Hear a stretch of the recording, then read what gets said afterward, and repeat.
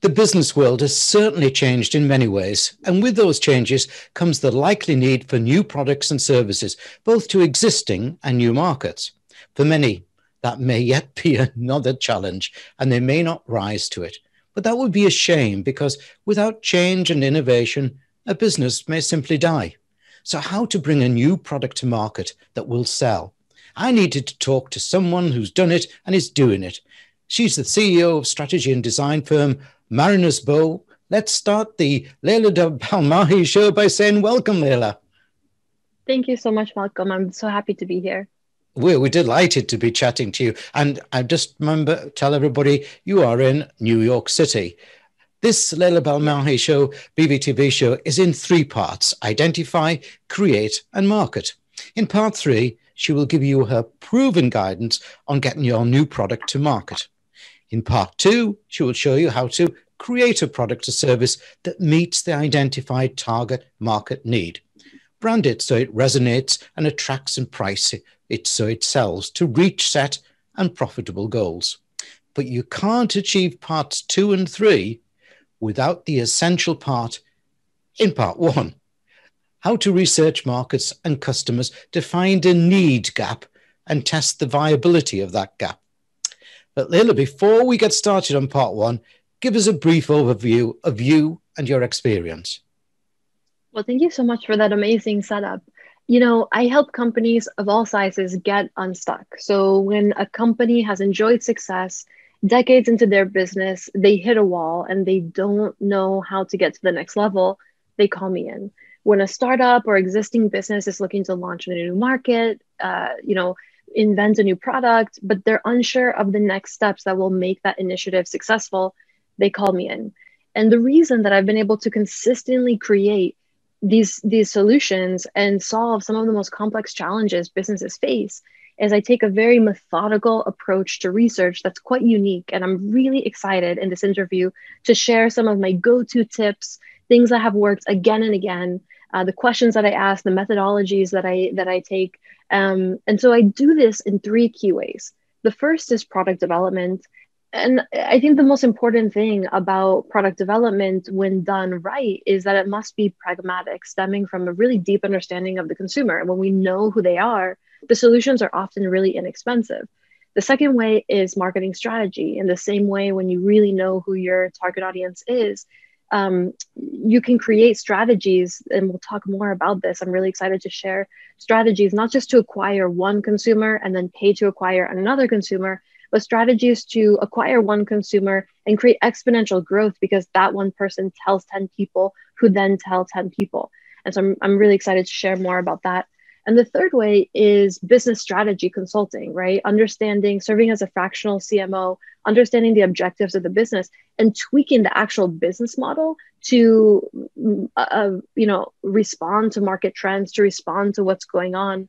Um, and so I'll talk more about that too in this interview. Um, but I'm really excited to share more and get started. Excellent. Thanks, Leila. Now let's get into part one. Anyways, over to you. Viable need, part one. Thank you. All right. So, of course, I you know, I am such an advocate of always talking to your consumers because they're going to give you the the guidebook for value creation. So the first step is that that I say is talk to your consumers, and then a lot of my clients say, well, we don't know who the, the target audience actually is. And there's a lot of nuance to identify this, but I would say that in general, a perspective that oftentimes is not mainstream is that identifying your target audience is more of an iterative process. It's it, you don't know right away. So let me give you an example that illustrates that. I work with a lot of Fortune 100s, um, mid-sized businesses, and startups. But I'm going to share with you an example that I, I am able to share, which is a couples therapy group. So they came to me with the goal of, of, of course, increasing their revenue. And the way that they wanted to increase revenue is through daytime appointments, filling the daytime appointments so that makes a lot of sense. So I spoke to their consumers to understand how we could get people to come into their daytime appointments. But what I saw was that a lot of their existing clients who were, you know, working professionals didn't have the en- enough autonomy over their schedule to get two people in the couple to come consistently in the middle of the day. And that just felt like an upward battle to try to address, trying to get people to change their fundamental schedule to be able to work for a business. And that's really not how things should work. So I said, okay, well, who is an audience that has autonomy over their schedule? High net worth individuals. And what do high net worth individuals not have? What is the unmet need in the market? They don't have time, but yet they can meet in the middle of the day on Tuesday. And, and so I created this concept for the business. Instead of filling their daytime slots for like $300, I helped them create a intensive for couples to come in and for $15,000 and up, really work on their marriage and figure out in one sitting, you know, if this makes sense to continue or not. And, and so they increase revenue by 4x by reimagining who their target audience is. And so I would encourage people to speak to their target audience and not be limited by the barriers that are identified in that first round of research, but then say, okay, is that worth is that a problem worth solving? Is or is there another audience that might be better to address this problem and create another product? So after you figure out who to talk to you want to identify of course the unmet need. And so these are my top three questions for kickstarting that process. The first i love asking this question and there's so much insight that you get from it when you say what are you most looking forward to this is the blueprint for the biggest unmet need in your life. If you tell me what you're most looking forward to, I'm looking forward to a vacation. And then I say, oh, that's great. Why are you looking forward to a vacation? I want to have quality time with my spouse. Mm-hmm. Well, that means that that's what you're missing today in your life quality time with your spouse. So, if as a company you can facilitate that, and by the way, B2B can also facilitate that because they're selling to humans too, it's about saving time on the B2B side so that they can have more quality time with their spouse. If you can help them achieve what they're most looking forward to today, you become an invaluable partner. And you can't ask people, what are you most lacking in your life? But you can ask them, what are you most looking forward to? Okay, so the just second, say that one. Just say that one again, Leila, so that so people can write that one down. Write that question yes, down, thank you. What are you most looking forward to? Okay. This is excellent. a really valuable question that I yeah. start many interviews with. Simple, simple, but powerful. But powerful, yes. And the so the next question that I like to ask is what is your most prized possession? Because if I can deconstruct the anatomy of someone's most prized possession, you know exactly what is valuable to them. And if you can create what's most valuable, then that's something that they're willing to pay a premium for. Another way to ask this question, depending on the context, is what items are on your wish list and why, depending on what you're looking to achieve from that question. Um, you know, I did research with gamers and saw that the gamers were looking to game the system. So the things that they loved the most were um, things that you could buy that would have a really long lifespan. For instance, um, a pot that hmm. lasted mm. 10 years. That was their most prized possession because they felt like they gamed the system, like they got something that had a lot of value for a long time. And so the project was to identify how you can create digital goods in a in a game that people would be willing to buy. And it's interesting because what informed that and that strategy was so successful once we figured out the fact that it had to operate like their most prized possessions. You buy yeah. it and, it and it provides value over time. So, mm. what is your most prized possession? Excellent. That's second question. Yeah. Second question. Yep. Third question What is your fondest memory? Understanding mm. a moment worth remembering allows you to build a customer experience worth treasuring. Um, and really, the third is after you identify their biggest unmet need, you want to ideate solutions with them. So, with the couples therapy client, I built a landing page highlighting the high end couples retreat, put it in front of the target audience, and got feedback. Now, uh, people are nice. They're always going to say they love it. But what you need to do is not listen to what they say, but listen to what they mean. Mm-hmm. And so I always ask this pre-mortem question to really get to the heart of this because so many businesses launch and they say well everybody said they'll buy it and then they yeah. don't buy it yeah yeah so how do you make sure that people will actually buy it when you launch two things first ask them if a year from now i came back to you and i said gosh this couples therapy concept didn't work what are the specific reasons today you think that may not work?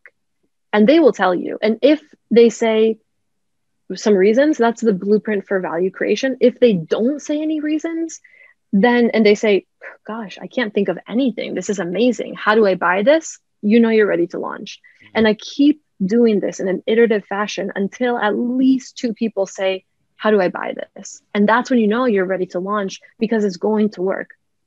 Excellent. Yeah. I really like that approach that you've got there because it, it's powerful, it's in depth, but most important of all, you're not just sitting in some magic office building inventing a yes. product and you know you're going out to the public the users the buyers whatever it may be isn't it brilliant absolutely okay Absolutely. I think it was time we moved to uh, part two. That was essential grounding work and brilliant. Let's so let's go to part two, which is create. How to create a product or service that meets the identified need. Brand it so it resonates and attracts, and price it so it sells to reach set and profitable goals. Mm, over to you again. Excellent. So it's no surprise that I'm going to say we need to talk to our customers. So, the first part of the process is understanding exactly what type of brand is a brand that they're going to tell their friends about. What type of product is a product they're going to tell their friends about? Because that's how we achieve the exponential growth that's going to create a more sustainable business.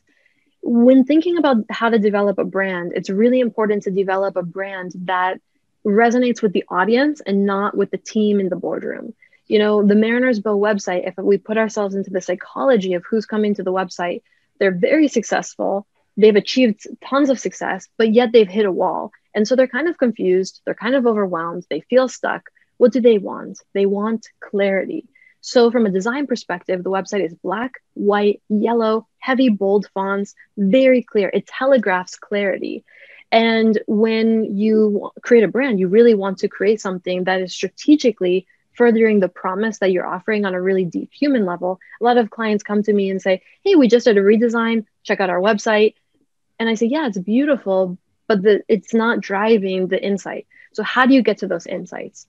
So, to understand how to create a brand that resonates with the audience, I ask these sorts of questions to kickstart this. One, if someone were to call you up tomorrow and you and tell you look no further we have exactly what you've been looking for we have a couples therapy service that's going to solve your challenges what would they say what would they say and so then you listen to the people and they'll pitch it to you. And basically they'll tell you the words you need to use the benefits you need to outline. And the job of uh, of the interviewer is to identify why they said each of those things because you really want to understand the hierarchy. So the first thing that they say is not necessarily the most important. They that's just what they said because they didn't plan this out which is the beauty of that question but the next step is to say what's the hierarchy here? And what's the meaning really on a deeper level of each of these lines? For instance if they say this is so valuable because it will allow me to make more progress in my marriage well that's great. I really want to understand what is progress to you? Because progress to you might mean reaching your goals sooner. Progress to a gamer might be beating their personal best. Yeah so these things really differ by cohort and a lot of businesses launch things if they get to this point they launch things that oftentimes are just a little bit off because they're launching on assumptions that are not tested and so it's really important to test every assumption with questions like why are each of those things most important to you? You use this word. What does that word mean to you? And going deeper and deeper. When I do hmm. interviews, I do I, I have an AI transcript going at the same time. So I literally have their words in front of me and I can go line by line with them. Uh, the second way to understand um, what the brand should be is asking people if if the brand were a person what type of person would they be what would be their personality how would they talk what would they wear this gives you a sense of the tone and the general feel so that first question helps you figure out the messaging the sex, second question helps you figure out exactly what is the brand look and feel.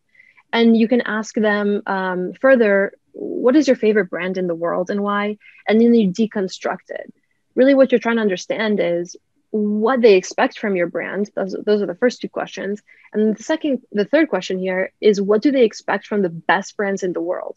And when you overlap those two that's a recipe for an unforgettable brand uh, so this is how you start to develop a brand that's really going to resonate with people and mm. go hmm. deeper and deeper um, in yeah, terms of pricing I, am with you on, on totally on that one but I've often found in the past, and I'll give you a little story. I was doing focus groups and managing focus groups for an uh, the launch of an evening newspaper in a UK city. And consistently, the focus groups did not like the way that the paper was put. It it was a historic city in, in the UK, and they live within the walls, and the people there think that a bit more elite. They didn't like the tabloid look that the editor was saying, and he kept saying to me, uh, "No, they don't know what they're talking about. I know what it is." And in the end, he insisted not to do the research. He launched his own paper. It lasted a few months. It's a cautionary tale. Mm. You know, uh, a lot of the time, clients will, after doing the research, will have a moment where they say, "There's a Steve Jobs opportunity here to give people what they think that they want, uh, what what we know that they want, not what they think what that they want." Yeah. And what I say to that is that there's there's a deeper thing at play. Steve Jobs was looking at the desire for people to have some a tool like a bicycle that would allow them to think different. You you're when you're building a brand that's really effective you're not looking at the more surface level stuff you're looking at the deeper stuff. And, and so it's not that he just didn't do any type of analysis of humans and what they want you know? And so i think on the deeper level the tabloid feel um, it's important to understand like what does the tabloid mean to people you know on a mm. deeper deeper level. So um, that's a cautionary tale. It's a really interesting story. Yeah. Okay let's move to part three market. How to take your new product or service to market in the fastest and most economical and efficient way possible with a structured plan. How to monitor and measure the plan to achieve goals. Hey back to you again Excellent. Thank you. So I'm going to share two case studies that demonstrate how to acquire new customers at a low price in a way that actually decreases the timeline in the sales cycle and also increases brand affinity. So when we think about measurement, a lot of clients are not tracking this one metric that is really a game changer when we think about um, how to grow a business organically and exponentially, which is what is the percentage of your sales that are attributed to word of mouth and referrals? Mm-hmm. If it's not above 80%, I highly encourage people to just stop everything and figure out why that is. Because if you're not actually, if you're actually providing value and you're actually doing a great job, then there's no reason that somebody that is buying from you shouldn't tell at least one person and oftentimes it's just a little adjustment in terms of messaging or what materials you provide someone to be able to achieve that. Um, and so you know i was working with a client um, you know half of the clients that i work with are b2b so this was a b2b client in a service-based business very expensive product. They were selling very technical and they were very focused on content marketing and seo and building out a google search based strategy and uh, my hypothesis was that that wasn't what was happening. Um, mm. Um, but I interviewed their very senior level client profile and quickly realized that the flow those guys were taking was that they were going to their network, asking their colleagues, their friends, their their their trusted advisors, what vendor they used, what vendor they trusted.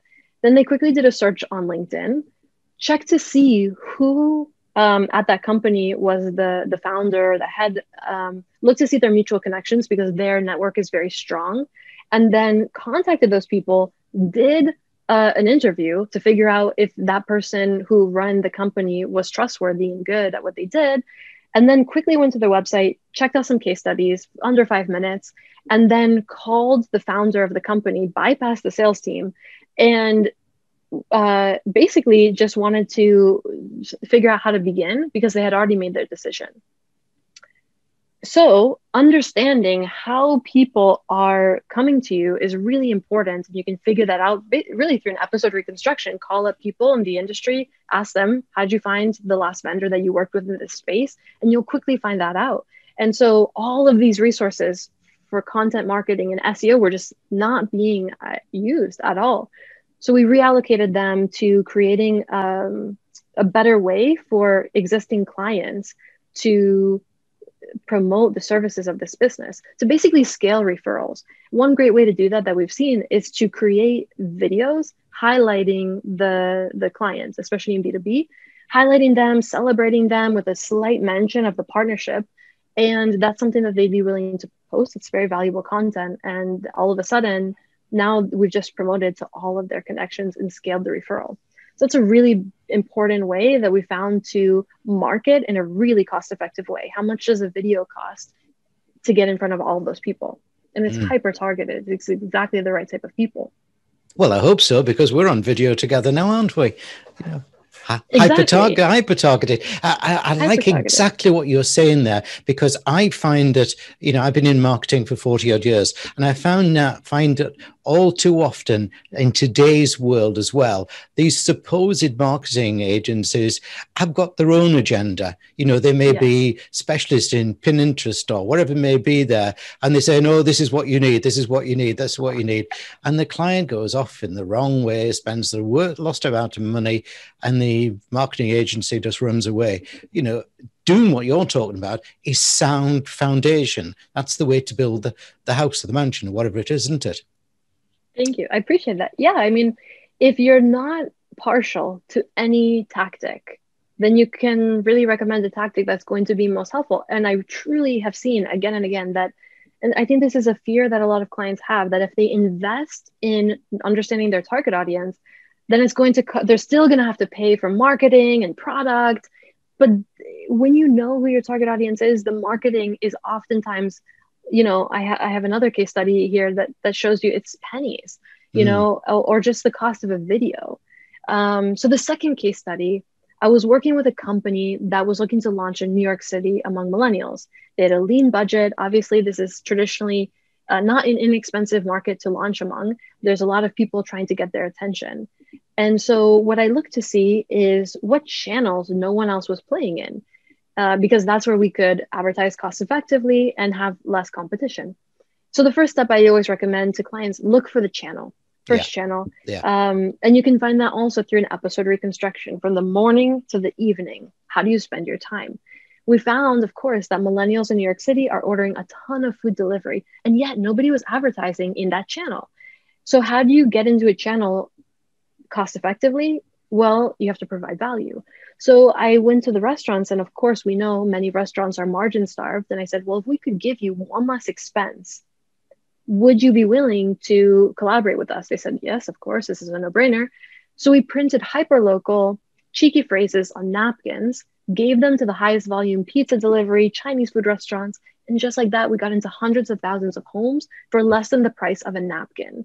Right. When you really understand your target audience, it shouldn't cost much to get in front of them. Yeah, excellent. I love that story. It's a, it really is imaginative and innovative. Well done. It's been inspiring meeting you in this extra special Leila Belmahi BV-TV web show. I'm, I'm, I'm, my brain's buzzing. That's why I can't get the words out. I've been talking to the person who truly knows how to successfully take your new product or service to market. Thank you, Leila. Thank you so much. It was an honor to be here with you.